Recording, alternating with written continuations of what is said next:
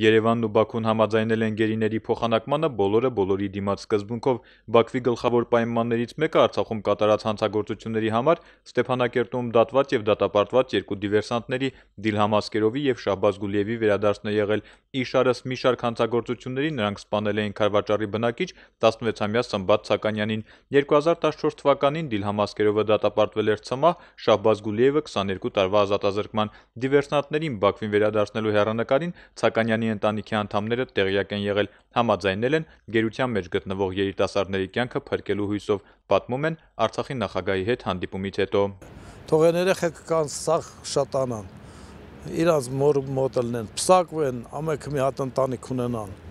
Ես այդ ժողովրդի սաղից այդ եմ ցանկանում, ուրիշ ոչ մի բան։ Ճիշտ է, ինձ մի քիչ դժվար է, բայց իմ հայ ժողովուրդ, իմ սալդատները, իմ երեխայի թայ երեխեքը